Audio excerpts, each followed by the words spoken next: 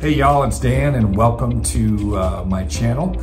Uh, today I've got two things to share. First of all, it's great to be back. I haven't been here for a while.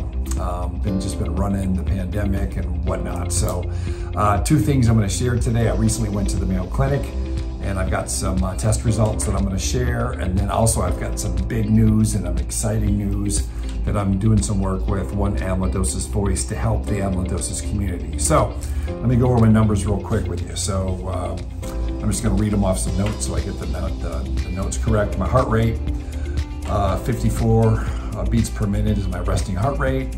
Um, blood pressure 103 over 61. My ECG showed a sinus rhythm with ectopics, it's called E-C-T-O-P-I-C-S, sinus rhythm with ectopics. So what that means is, is that essentially a sinus rhythm, which is normal with abnormalities, which means it's arrhythmia. So I go from like AFib to arrhythmia. I'm rarely in sinus rhythm, which, which is which is normal. I'm, I'm never there. I shouldn't say never, but rarely. So anyway, that's nothing new really for me. Uh, the two big markers that we test uh, are NT-proBNP, which is the heart efficiency because I've got cardiac amyloidosis. The amyloidosis affected my heart. So normal would be about 88. Um, lower is better. When I got diagnosed in 2017, I was at 1700, uh, which is not good.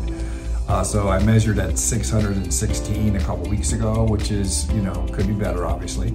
Uh, but the previous measurement, uh, three or four months below, before that, I was at 678. So anyway, small improvement, uh, but I've been doing some different things, which is great. I'll share those later at some point. Uh, my lambda, lambda light free, my lambda free light chain proteins, light chain proteins, which we measure, which is the other marker. Um, normal would be 2.63. I was at 3.06, which okay, not not too bad, pretty close. So if you get uh, if you if you're going to see some other um, if you have amyloidosis you're getting tested somewhere else like Stanford or maybe some other one, they might measure it like instead of saying normal is 2.63, it might be 26.3. So it just moved the decimal point. So Mayo does it 2.63, it might be 26 for you. So anyway, I was at 2.63, normal is 3.06, which hey, not bad. So for me, status quo, uh, well, status quo is, is pretty good for me right now. So anyway, that's where I'm at. Feeling blessed about that.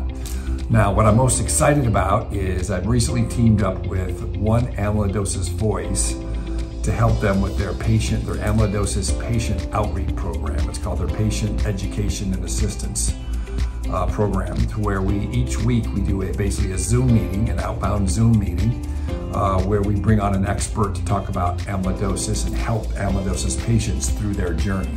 So just this Wednesday, uh, I was the moderator and I introduced an expert, Dr. Heather Landau from Sloan Kettering, and uh, she's a hematologist and oncologist, and she works specifically with amyloidosis patients. And she talked about how to assemble a, a care team, uh, which was really, really valuable. So uh, we had uh, 75 register for uh, last Wednesday's event, so we have people on the Zoom.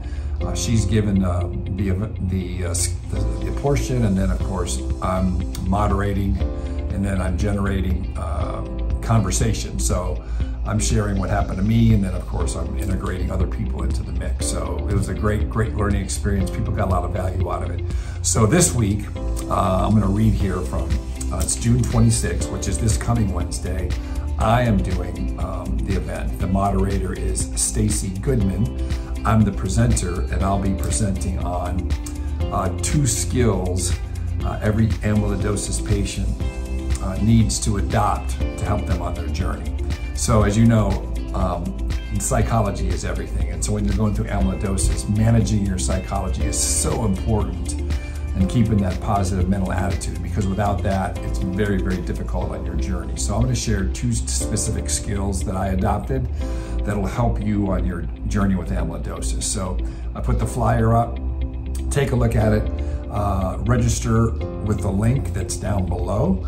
Uh, in the comment section. And if you know somebody else with amyloidosis that might not be uh, aware of this, please let them know. Share it because we're doing it every single week.